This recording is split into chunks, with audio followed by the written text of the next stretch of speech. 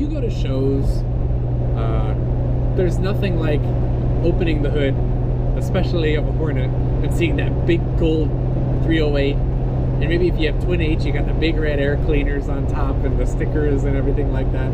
That's just cool. That's a showstopper.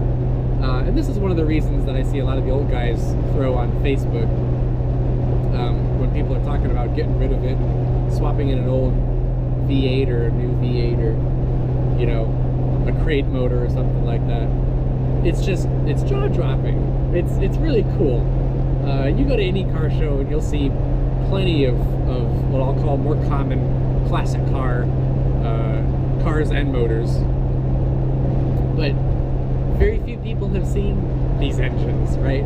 And so every time I open the hood when I go to a car show, there's a crowd and people just sort of collect around it and they want to look inside and see like, oh wow, look at that's cool, or oh I remember these, my grandfather used to work on them, or that kind of thing. It's really cool, you know, being able to bring that out in people. It's something special to show off, and especially folks who can appreciate what it is, but not just the folks who are in the know, because I think the folks who are in the know, of course, they gravitate toward it, but people who don't even know what they're looking at, they know they're looking at something different, right?